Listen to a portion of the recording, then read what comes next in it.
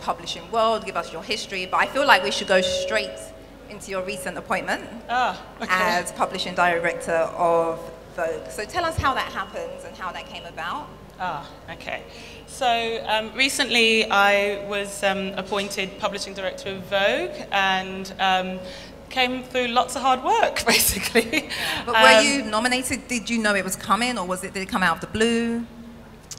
Well, you know, that nothing ever comes completely out of the blue. You can feel that, that things are changing and you need to sort of live up to certain expectations. But um, basically, two years ago, I was made publisher of British GQ. And um, those two years we used as a big point of transformation. So we did a lot of work, particularly around digital. Um, it was a lot of hard work, tried to change culture a lot. As you know, a lot of media brands um, who are print in heritage have had challenges around moving into the digital space. And at GQ, there was this whole forward momentum around nailing that. So um, it was an amazing two and a half years, and uh, we had our highest revenue year of um, the decade in 2016, which is very important for a publisher, and I think that helped to pave the way for the Vogue role. I should actually explain what a publisher does because I don't know if many people know. Like my mother still doesn't know what I do. She is ever describing what I do to other people, and I'm like, that is not my job. um, so a publisher is um, sits alongside the editor, and whereas the editor is responsible for all of the creativity in the magazine, the publisher is responsible for the business of the magazine and all of the media platforms. Um, and so it's about revenue, basically, so turning that creativity into cash. um, and that can take lots of different forms. It means managing um, the image and working with the PR teams and marketing teams to manage the image of the brand. It means advertising revenues, other revenues, um, but it's really about harnessing creativity and turning that into revenue. Yeah. Thank you for the explanation. so prior to the Vogue appointment, obviously you was at GQ before, like you said. So you've done a lot of men's fashion. Yeah. Was that on purpose? How did that come about?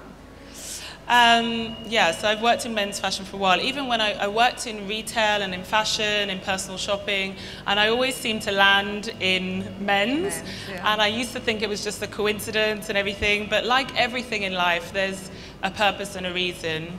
I think that, um, first of all, I was, not now, but I was such a tomboy Okay. that I was always most kind of. Um, comfortable, I suppose, in men's.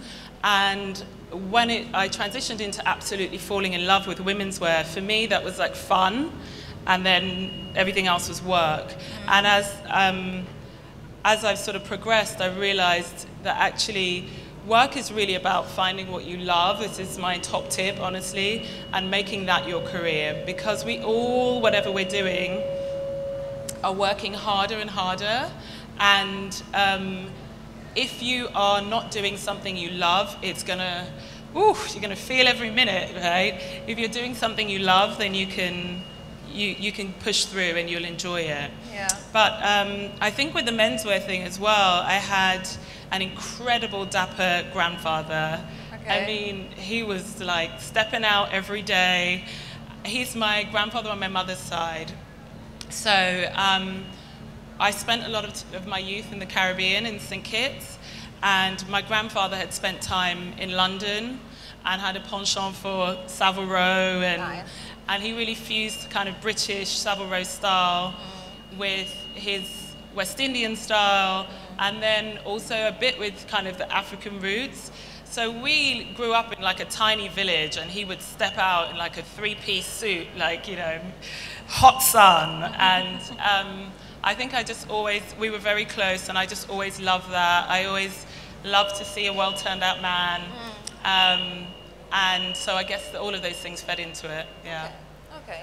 So let's just touch on the side of being a female publisher in a men's industry. Do you feel like the publications you have worked for have benefited from that female touch?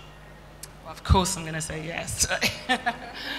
Um, I think that um, I just don't really think too much day to day about I'm a woman and they're men or I'm, uh, you know, whatever. I think that um, back in the day when I was coming up, there were a lot of uh,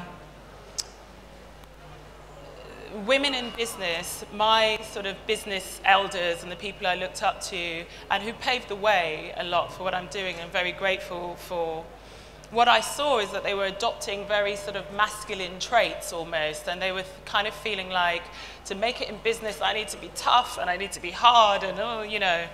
And um, my view is that actually some of the things that go along with femininity, um, which are stereotypical, not, you know, 100% of the case, but some typically feminine traits are really great in business. So things like empathy, um, things like great listening skills, those sorts of things really help. Yeah. And um, I think also that I don't really bring a lot of ego to what I do. So if I'm faced with like an alpha male, it's easier to kind of calmly mm-hmm. put across my points and get, get what I need done. Whereas I think two alpha males kind of yeah, exactly. And just in general, I think that um, having a point of difference, whatever it is, whether it's a female in a male world or whatever, you know, a lot of people talked about the ethnicity side of things. Um, I just feel like being different is an absolute strength, you know, whatever that difference is.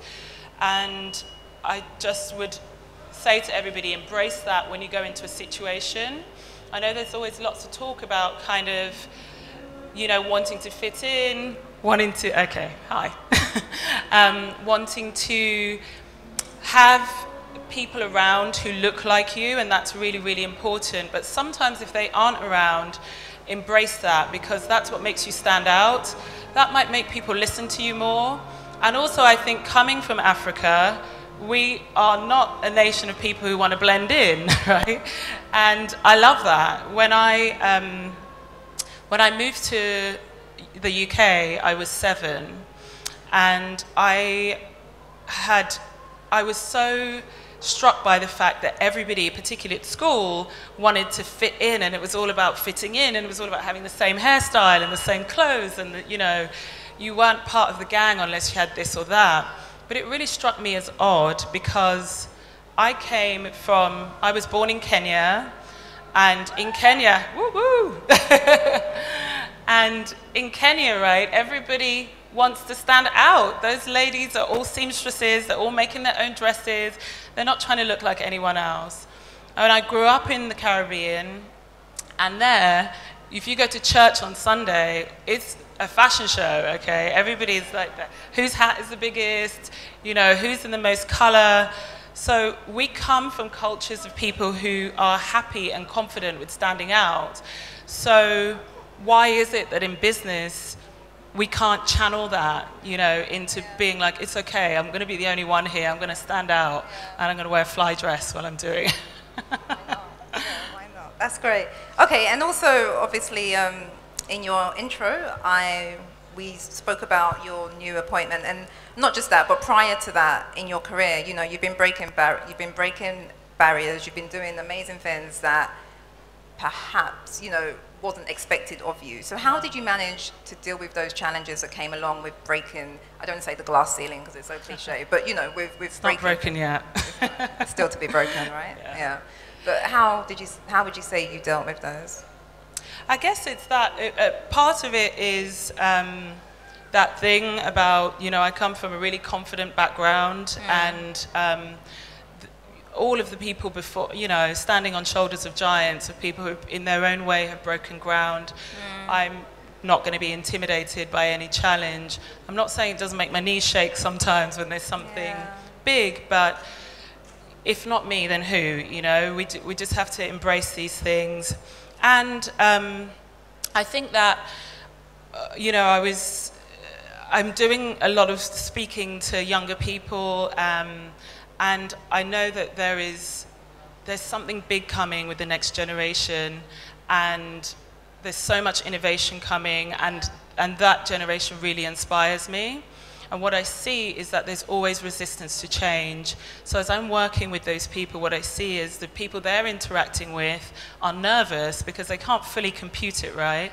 So I guess for me, any barriers or challenges, I look at it as it's not personal. Um, people are instinctively nervous of things that are different, but um, it's in our hands to, to help um, massage that situation and bring it around. Um, so yeah, just try not to be too daunted and try not to think about it every day. okay, you, you touched there briefly on um, you know, innovation and doing things that are new and things that are different. So while you were at GQ, I know that you focused a lot on the digital side of things. You know, you're very much into tech, so you were able to expand the digital element of the brand while still maintaining the print as mm. well. And of course, breaking records while you were there. Um, so, what advice would you give to any print publications that are looking, that perhaps may have challenges with the new digital age and um, how they can manage the two without? I just think that, you know, in London and in the West in general, there's this feeling that digital's competing with print and it's either digital or it's print and digital's going to see the end of print. For me, it's like, why? You know, um, there is no reason if you work for or run a, a, heritage print brand that you can't use digital to secure your future, to future-proof you. As long as all of the, your platforms work together, so you're using your digital platform to drive your your print eyeballs and vice versa, then it all kind of works. Um, the other thing I would say is that Africa is really leading the way when it comes to tech. So we're looking to you, right, in the West, because a lot of the innovations, not just in media, but just more generally, that are coming out of the continent are being picked up in the West. Um, an example that I really love is um, in the banking space, you know, some of the necessities here are driving how we use tech in banking uh, in, in the UK and in the West more generally. In Kenya, there's been a system called M-Pesa, which is absolutely brilliant, where you can transfer money via mobile phone because of the necessities in that country. And um, lo and behold, a few years later, Barclays Bank launched a brilliant um, scheme called Pingit, which basically used the technology um, and the concept from um, that Kenyan developer to launch this huge thing, and they really owned it, you know. Um, and so I think that actually there are so many people here who are native um, technology users, so many people in tech, in STEM sciences, and so on. And in the diaspora, I think we should be really proud that we're leading the charge with that. So don't look to us in the West. You guys have the answers here, and don't be afraid of it. It's not two separate things. The, um, the way that social is used um, here in Nigeria, in, um, across the continent, is so impressive. You know, people have made themselves global stars. So there's no reason that media brand can't do that if an individual can do it. So leverage it, yeah. Thank you. Thanks, guys. okay, so um, are there any fashion, are there any African fashion brands that you have, that have, sorry, are there any African fashion brands that have jumped out to you? That um, Any brands, not just here, but around the yes. continent that have popped out to you? And what are your thoughts on how they are doing their I just think that the, again, the continent is absolutely killing it at the moment. You know, we, some of the designers coming out of Africa, Nigeria in particular is doing incredibly well. Yes, Kenya as well. Um, I always try to represent African designers. So even when I'm doing the International Fashion Weeks, I'll wear um, the brands who want to dress me, but I always represent um, an African brand. I'm so, everyone's so excited. They might not always say it, yeah. but everybody's looking at what we're doing um, here. Um, I was in New York uh, last week and I had lunch there with Duro Olowu, who is a genius. Yeah. Um, and I think that he's just amazing. Um, I love to wear his clothes. And he's got this amazing world view. And he was saying to me that being from Nigeria, he feels that that gives him something different. When he's in London, when he's in New York, it gives him a different perspective to style because everybody here, everyone here is a designer. Everybody can make a dress. So if you're going to be a designer here, you have to bring something extra and different. And it was really interesting. Um, I, this weekend, will only, um, in terms of my clothes, be wearing West African designers. So I'm wearing Maki O today. Um, there's so many, but it's it's so inspiring, and I'm so happy to be here. Just just even walking around and seeing people how they're dressed, I'm just like, yes. so you also touched briefly on the work that you do with youths as well. I know you're very um, interested in how arts and the youth work together. Um, what is your viewpoint on how youths, particularly within Africa, can really basically make a difference within the fashion in, mm. in industry here? Um, I think that there is an amazing entrepreneurial spirit yeah. with the generation that are coming up. This is globally actually, but particularly in Africa. I think that one of the things that digital has done is open up and give voice to talent that was always here but mm. couldn't ever really get, you know, in the mainstream. Yeah. Um, and I think that there's a huge amount of disruption I see in music, in art, uh, and definitely in fashion, which is one of the arts which a young, um, younger generation are bringing through with confidence, unapologetic. You know, the generation before would be in amongst um, successful people from the West and be a little bit apologetic, like, oh, I'm here too, you know.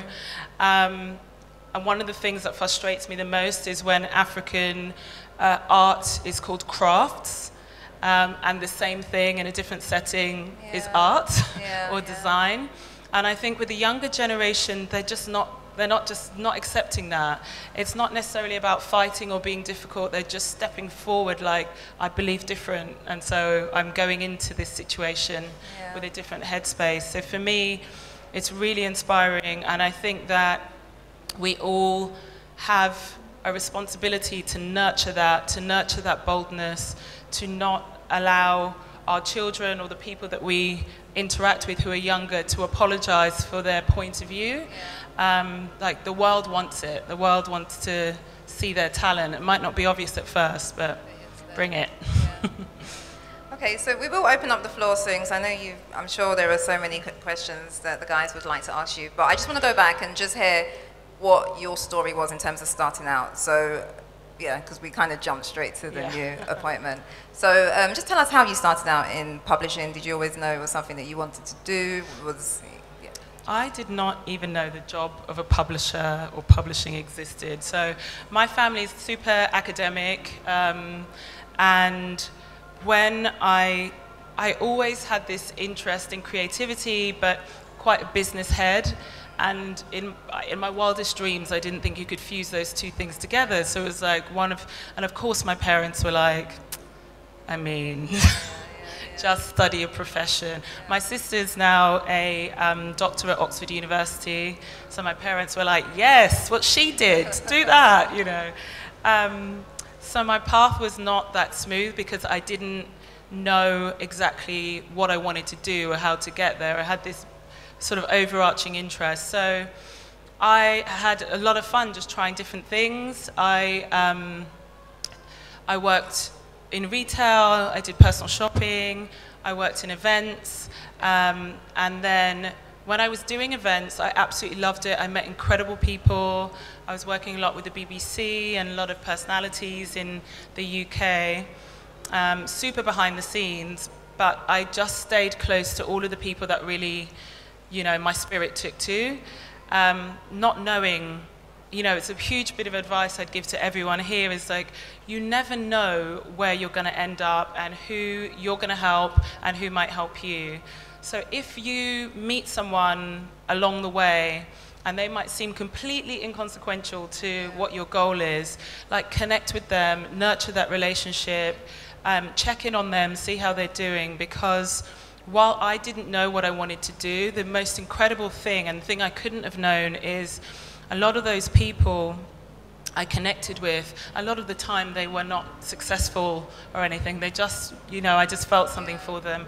They have really helped me with my career along the way. They've given me advice and said, oh, you should try this and you should meet so and so. And um, so, any, a, a friend of mine said, you'd be amazing in media. Um, I can introduce you to a friend who can explain kind of what it entails and so on. And um, that person that I saw was a director at the Evening Standard, which is a amazing magazine and um, newspaper in, in London, and he offered me an internship. And I didn't really get what it was. I was just like, but I said, yeah, okay, I'm gonna, I'm gonna do it. And um, within a couple of months, they'd offered me a permanent job, and I just had a succession of um, breaks. I would say I was going to say luck, but I don't fully believe in luck. Um, a lot of opportunities, I think, that came my way to move up very quickly, and, and I just took them and, and um, tried to be really kind to everyone I encountered, and um, that's another thing. It comes back. Yeah. yeah so that's it. Okay, perfect. You were also you were awarded the MBE by the Queen of England. Yeah. That's amazing. Yes, round of applause. Thank you. So the recognition, like, how does it make you feel just knowing that people are appreciative of what it is that you're doing in your industry? Yeah. So it's amazing. I mean, it's such a crazy story, the MBE. It, first of all, it's amazing. Yeah. Um, I didn't take it as seriously as I should have straight off because I had a situation where my assistant was away when the letter landed and um, the um, lady that was covering her was too nervous to open the mail. So it sat, the letter sat there for like two weeks. And my assistant came back and was like, oh, you got an MBE and you have to do this, that, and the other. So we just were like, okay, let's make it happen. And then when, on the day of arriving at the palace, I took my mother and my family, um, it was suddenly like, oh, whoa, this is, this is really big. And of course, my mother was claiming all of it, you know, as she should. she was going around saying hi to everybody, like it was her party, you know, like, welcome to my house. Um, and, you know, there were just incredible people. You're in this, this um, holding room, which is absolutely beautiful in Buckingham Palace, and it's so surreal. And um, on that day, Rod Stewart was getting his knighthood, and a bunch of other people. Um, some people I knew actually, but other people I really admired. And then suddenly it felt enormous and it felt really vindicating because, as you said, I always tread a slightly different path. And sometimes you have to ask yourself, like, is this, you know, am I going about this the right way? So it was really nice to be recognized. Um, but my mother, going back to her, Rod Stewart came over and said hi because she was like waving him down and everything. Just said a nice hello, was being really charming. And my mother's like, oh, Rod, sing us a song. I'm like, turn into a 14 year old again immediately, like, Mom. And he turned around to her and he said, maybe later I'm so nervous. And then suddenly it was like, okay, if he's nervous, I should be nervous, you know. So oh, yeah, amazing. it was amazing. That's great. That's great. Um, okay, so you officially, um, you officially start your role as publishing director in January, mm-hmm. right? So how are you feeling? What's the first thing you're going to do when you when you start? you know how? Because yeah, it's so exciting. It's like the most exciting thing that's happened in my career, and not just because it's Vogue. Yeah. Um, it's exciting because it's a whole moment. The editor, um, Edward Enninful, is just the most incredible human, and he and I think on such a similar wavelength. We care about the same things. We come at things differently because he's a creative, I'm a business head. But um, it feels like an incredible partnership, and the energy that he's bringing is just amazing. Like, it's kinetic in our office. And um, so it feels like this whole reset, you know, that's happening across the industry, and it feels big and it makes me a bit nervous. But like I think anything that's worth doing should make you feel a little bit nervous. So I'm super excited. Yeah. Amazing. Fantastic. Okay, so if it's okay with you, we'd like to open the floor for Love questions. To. Yeah. Yeah. Thank you. Hi, Vanessa. Hi. My name is Rennie. I work in public relations and communications here in Lagos. Um, my question is twofold. One, how do you balance, um, since you're the publisher and your, your job is to make the magazine make money, how do you balance sort of creative decisions that might be a bit controversial? So for example, Edward just had a black woman on the cover of Vogue and all of that. So in the past, maybe a publisher might have been like, that doesn't, you know, move copies. Um, do you stay totally away from creative and you just get what you Okay, so one, how do you balance that? And then two, um, what do you think the impact of having black women in these positions that were sort of previously occupied by white men and women, what do you think that impact has on the industry? It's a great question. Um, on the front of the creativity, no, I, um, I think that the role of the business people who support, you know, um, who support creatives like Edward is to harness their creativity, not to dampen it.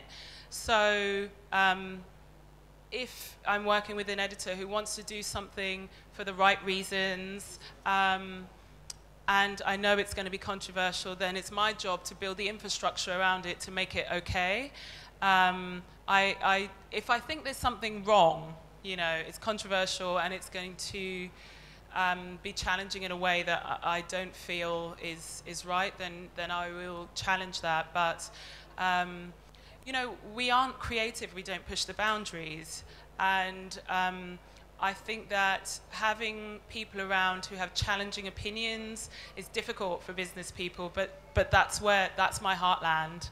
Um, I think it's been one of the reasons that um, I've managed to do quite well in the industry is that I don't shy away from those challenging characters. Like, they're my speciality. And um, I think that we need to be um, pushing the narrative. Um, and we need to have people around who are going to be brave always. And my job is to support that. And in public relations, you're like front and center. you have to, I wouldn't shut things down. I would just think about the strategies that um, communicate the whys around something challenging rather than silence it. Um, and then with regards to having um, black women in, in, in uh, prominent positions, right, and on covers and things, um, I think that it's super important because we, you know, there's a lot of times I hear people say things like, we can't be what we can't see. I don't entirely agree with that because no one would break through, but it certainly helps, you know. I was just um, in San, I came here from San Francisco the jet lag is real. Um, and I um, was there at a thing called Dreamforce, which is absolutely amazing. They had an entire day. It's a huge, run by a huge company called Salesforce.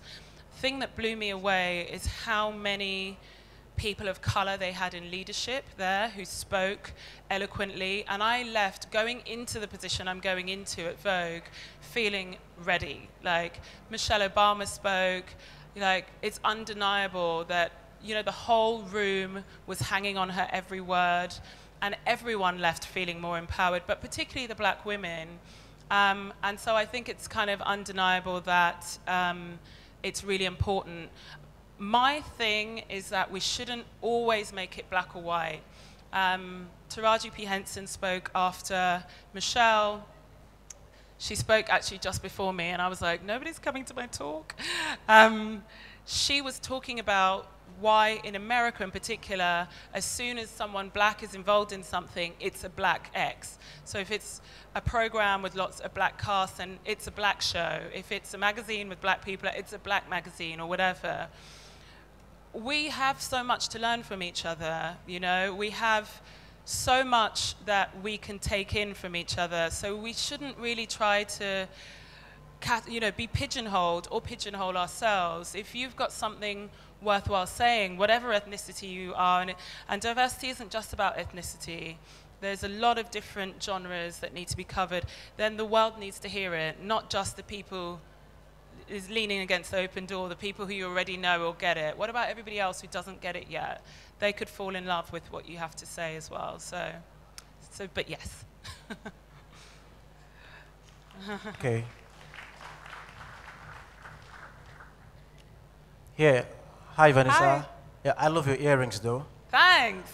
They're Delta Jack. They're- Okay, um, my question is, um, what has been your greatest challenge as a publisher in fashion? Then you being the first black um, publisher in the Condé Nast I just saw now. So how does it make you feel? Thank Ha- you. What was the last part of the question? Okay, you being the first black uh, female publisher and the Condé Nast just passed Yeah. the screen now. So how does it make you feel? And what has been your accomplishment so far? Okay. Thank you. Thank you. Um, it's so strange. I just didn't think about the black thing. I just think that when I got the job at GQ, that's when everybody started to go, oh, You're the first woman to do this. I was like, Am I? Then, they were like, You're the youngest person. You're the first. And then I was, I was so worried about, like, I need to do this job and I need to nail it that I didn't think about those details. And I think that, of course, it makes me super proud. Um, and I know it makes a lot of other people proud, but I just don't think about it on a day to day basis. And because otherwise it's so daunting, you know, otherwise it's like, oh, if I mess this up, then no one else is coming through. Um, and of course, I'm mindful of that, but um, I think that, like I was saying before, I'm, I'm kind of used to being the only anything in a room. I mean, one of the things that was when I was younger, I had a crazy growth spurt. So I was like normal height. And then one day I was like six foot tall. and the school that I went to, I was one of a few black people there.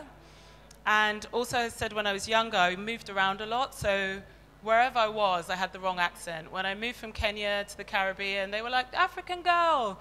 When I moved from London, from the Caribbean, they were like, Jamaican girl, because they didn't know where the island was.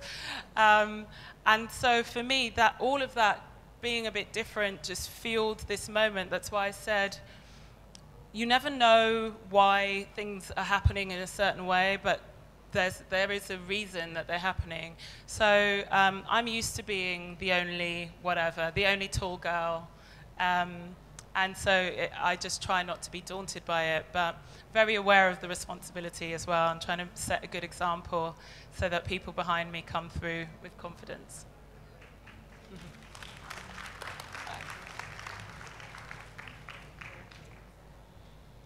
Hi. Hi. Um, I mean, very, very inspiring lecture. I have Thank really you. learned a lot. My name is Anu. Um, so here's my question. I mean, you spoke extensively on publishing and stuff like that. Well, I do a bit of, um, I'm a columnist. I write, but pretty on and off.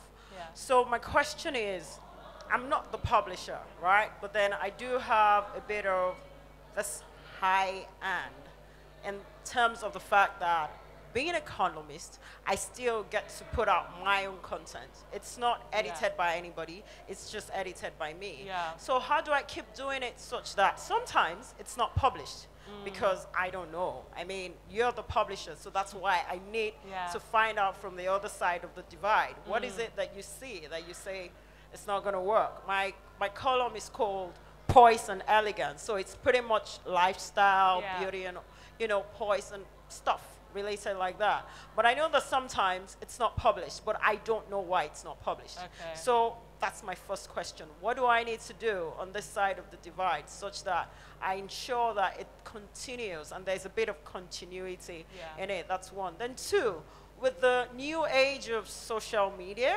definitely, I mean, they call it the new media. With the new age of the social media, um, I also want to be able to make money, even though it's not my paper.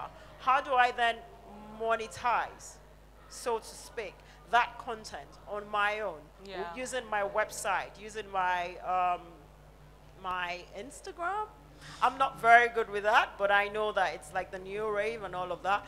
But I mean, I do, I'm very good with the website bit. So how do I monetize it?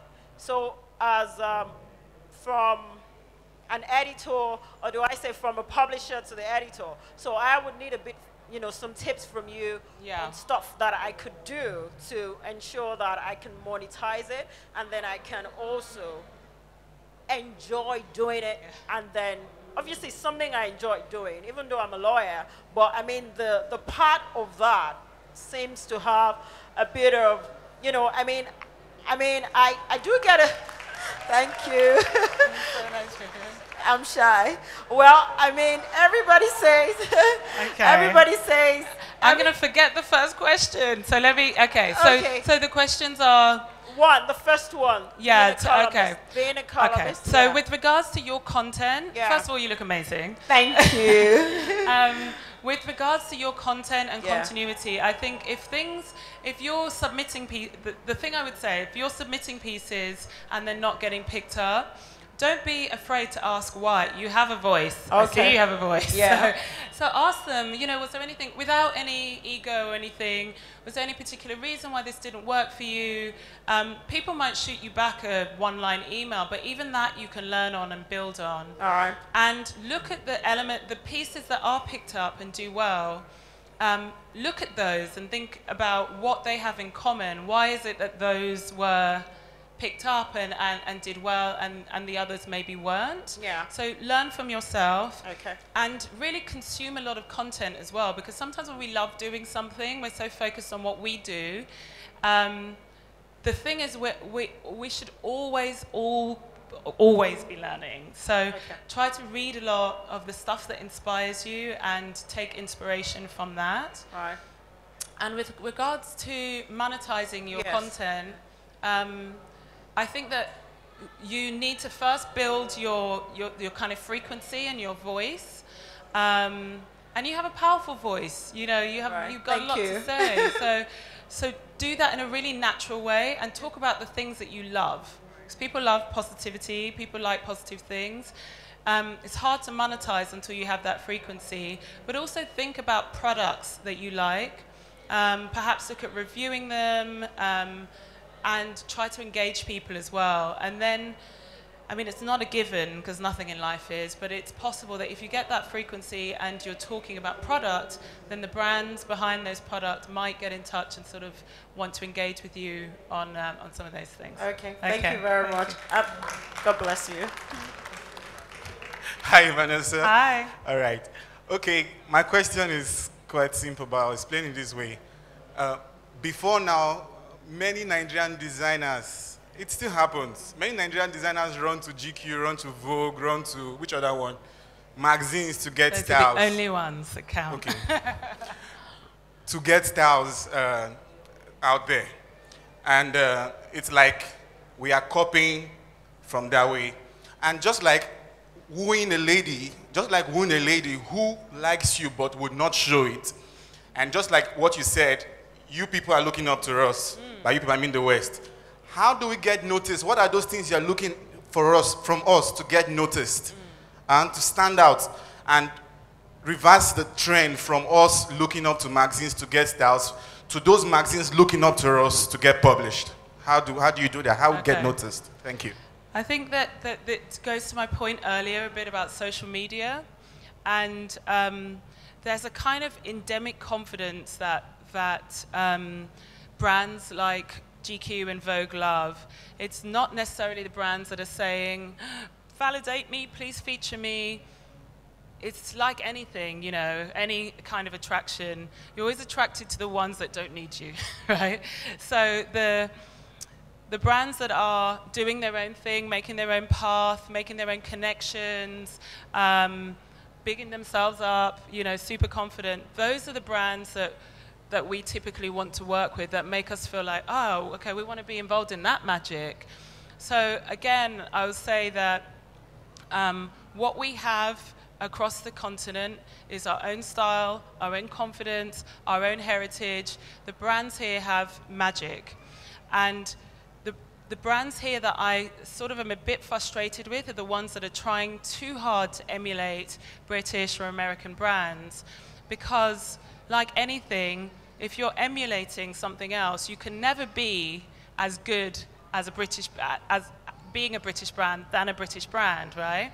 But they can never be as good as being a Nigerian brand as you've got. So harness your own magic, your own style, your own, you know, give what you've got. Like, you know, make the world want it. Uh, congratulations on all your success, Vanessa. Thank you. Thank you, thank you. Mine's a quick question. My name is Ozzy Agu. I am a performing artist. But um, mine's more of a, like a teaser, if you will, because um, we're all excited for what's happening um, in the uh, fashion business and whatnot. But uh, can you tell us a bit of the direction you're going to take uh, Condé Nast in and uh, Vogue and all that? So just a teaser so we can look forward to um, the new reign, if you will. Thank you. New reign. Ozzy looks very GQ. um, I mean, it's hard. I, I've kind of started, and Edward and I are working very closely together, but I officially start in January. So at the moment, I'm um, uh, working on a few projects, but really they're kicking in Jan. Um, I don't want to give too much away, but a lot of what we're looking at is um, really adding an extra layer of magic to print, um, which I think Edward has down. He's doing that already. The first issue is incredible. Um, it only just hit newsstands and it's already, you know, people can't get it and it's amazing. Um, but I think my big role is to keep that going because the print entity of the magazine is so important and people love it, but really bolster the digital and social offering um, not only for our audience from a user point of view, right? Because we spend more, to all of us, we spend more time on our smartphones than we do reading anything in print, even though we love, you know, to hold something tangible. But also from the point of view of the brands that we work with. So the big houses who um, I work very closely with uh, on GQ and soon to be Vogue, a lot of fashion brands, but also now tech brands, car brands, they really care about having a voice in the digital space. Um, and Vogue will be the brand that helps them do that um, in an effective way. So, and lots more to come, but yeah. Hi, Vanessa. Hi. Um, my name is Pepper, and I run an organization called The Assembly. And I'm aware of all Called the what, great sorry? The Assembly. Okay. And I'm aware of all the great work that you do with youth and UAL. Um, what kind of advice would you give me? Because we work a lot with uh, young people who are trying to enter the fashion industry. We engage them, empower them on a monthly basis through mentoring, workshops. And I guess I'm at that stage where I'm trying to kind of create some structure to be able to help them more and give them the kind of need that they help um, need. So what kind of advice would you give me? Yeah. Thank It's you. such a great thing to do. Like I'm super Thank you. passionate about it. Um, and you seem really young yourself, so really incredible. Uh, I have a big cheeks, but I'm not. I have two children. Good genes. Um, uh, I, um, I think the structure thing is really, really important. So um, whenever you have an engagement with uh, the people that you're mentoring or work with, at that point, it's really important for them to know what the next engagement is, not kind of keeping it too uh, sporadic. Um, I think tangible, you know, eh, sometimes I remember when I was younger going to all, you know, like I was saying, I didn't quite know what I wanted to do. So I went to lots of talks, I went to the things that I knew were available to me. And some of the advice felt so lofty, you know, and kind of like abstract that it, it was really hard to know. Like, I was like, I agree, but what does that mean day to day? What do I do day to day? So I think try to break down the advice that you give day to day. And I think the other thing about youth development is um, a lot of times we focus on people's talents, but sometimes you can be the most talented person in the room and never arrive, you know, never hit success. So for me, the most important thing is how do you translate your talent into success? And that's a lot to do. A lot of times, people I work with need coaching on their confidence, um, sometimes false confidence, because sometimes when people are insecure, they act like they're arrogant, but actually, you know. So it's about preparing people to be in the situations they're going to be in and really connect their talent to uh, success in a practical way. But amazing. I love that you're doing that.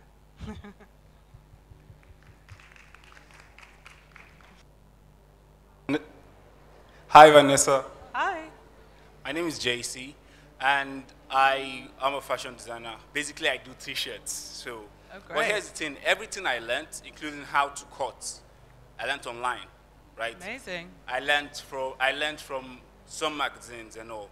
But here's the problem I have. Some sometimes Nigerians or some Nigerian designers t- tend to want to go and use Nigerian fabrics, right, to do foreign stuff. Now that is cool, but where is the where is the uniqueness? Where is the or- originality? Yeah. So the question I want to ask is, how do you break that barrier, most especially in men's fashion? Thank you. Um, it's a really good question. I mean, it's the age of the T-shirt as well. Everybody loves a T-shirt, the slogan tees, and all of those sorts of things.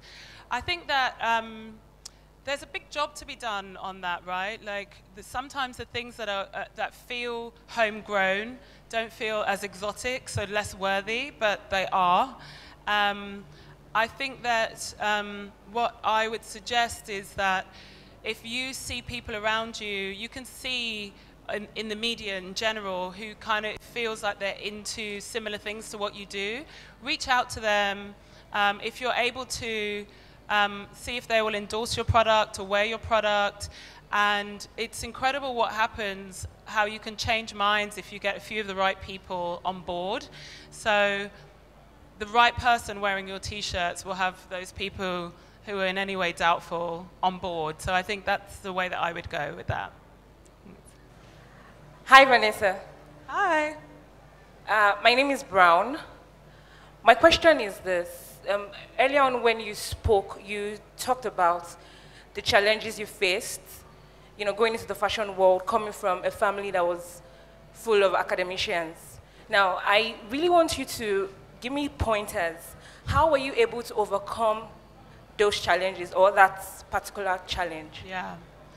Um, I think so many people come from family, especially in Africa, you know, and it's the same across the developing world. Our parents just want the best for us, so they want us to go for the most secure careers.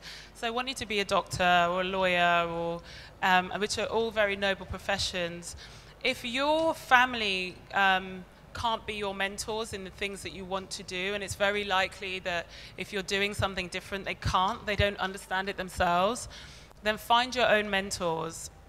Um, I, like I was saying about nurturing the relationships, if, if you come across someone who is inspiring to you and you can build a relationship with them, then do that. You know, even if it feels like a reach. Um, I mean, make sure there's an actual relationship first. But um, I, the thing that I did unwittingly, actually, I make it sound like it was a master plan, but is I just built my own mentors. And there's a dear friend of mine who runs a media company um, in London, um, who unbeknownst to her, was my mentor. We were just going to lunch from what she thought, but I would have a list of questions in my bag that in the taxi there I would be going through. And when I arrived, you know, I, we would chat and I'd ask her what's going on and how's her son and da da da da. And then I would like, oh, by the way, how would you deal with this and how would you deal with that?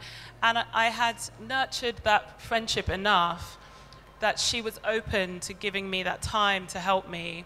So I think the it's, it's challenging to break new ground that's different to your family and the people around you, but you can make your own family of supporters. Like create your squad of mentors. Thank you. Hi. Congratulations. Thank you.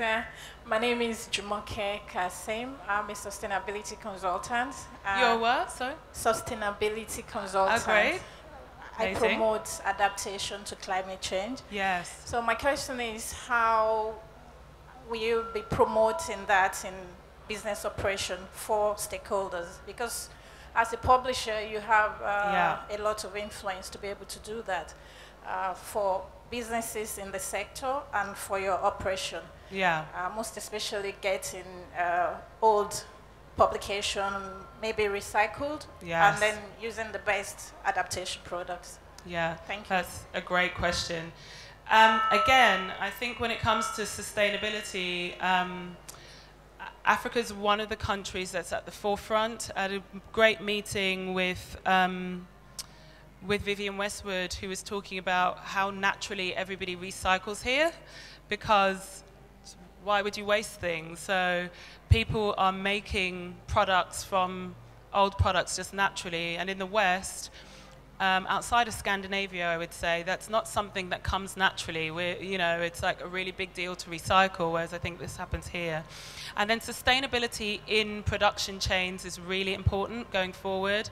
And of course, for a legacy print um, brand, paper, we have to be really careful about how we use that.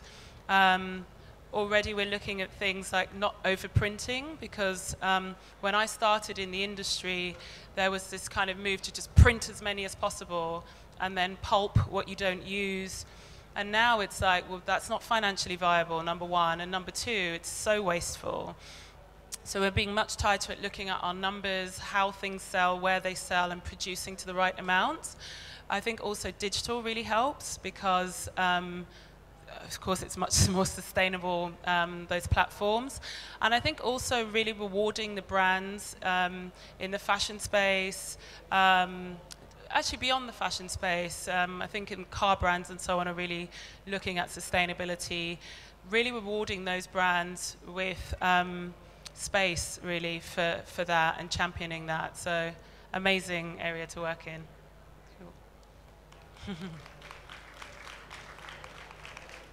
Um, I've had um, a lot of um, section today, and you actually caught me on unaware. Uh, thank you very much for coming down. Thank I, you. The publishing part of um, the whole of, um, of fashion business, I would like you to um, put in some lights for me. What actually happened is this: I, I'm a journalist. Uh, while I was on, on campus, you know, in college, I I report for I freelance I'm a freelance writer for Yeah. most of the national dailies, except for maybe one or two. But unfortunately, there seems to have been um, a kind of, um, I don't know if I should call it kaba in this our own in Nigeria when it comes to, um, you know, um, media, anything that has to do with that has to do with print media or uh, or the other aspect of it. So what actually happened is this: I had a, a platform with my vice chancellor, then I tabled a question to him. I tabled the question to him, and unfortunately, the audience I got from the deans and the likes was not productive. Okay. So I would like you to, I would like to ask you, what can I do? How can I actually um, fend for myself when it comes to um, um, writing, then publishing eventually, other than having to table my, I mean, limiting myself to one media outfit or, whatever. This is actually a, a, a major issue, and I don't know what else I should do about Yeah. it. So that is why I'm asking you right now. What can I actually do about So it? So you want to work with more media outlets, and you feel like there's a bar mm. with your journalism at No, not necessarily a bigger outlet. Fine if I, I mean, it's going to be an added advantage. But what I'm saying in essence is this. I am, the, most of the national dailies we have here in Nigeria, the media outfits, they tend to have a, a personal, things they want from Yeah. their, so I want to create something for myself without having to subject myself to those, Yeah. uh, those, Yeah, uh, those particular media yes. outlets. Okay. So what can I do about it? Thank I you think that, much. well, firstly, that, um, we are in a global world now. So, you know, if, if there's a vibe that you're getting from the Nigerian outlets, then there's, you know, you're a video call or an email away from, from anyone in the world. And then I think what I was saying before about digital platform, digital, digital, various digital platforms, blogs and social, um, your own site even, they mean that you can bypass some of the outlets. Um, some really successful journalists that I know actually were picked up by bigger publications because they were producing content that was of the same standard um, as they were producing and getting a higher pickup because they were speaking in a voice that their community really recognized. So I think keep going with your content and um, build your community, build your own community, build your space, whether it be a blog or if you can, your own website, um, and definitely your social, so that you you have something that the, those media outlets actually want, rather than you pitching and having to explain who you are and who will be interested. Show them who's interested by building your own audience. But I think it sounds like you're doing a great job. Do you want to say any closing words? Yeah. I've just been told there's no more questions, but Sorry, guys. um, I've absolutely loved being here. This is the most, one of the most welcoming places I've ever been, and uh, keep being amazing. Thank you, everybody. Thank you, Vanessa you, thank Kingori. you. Thank you.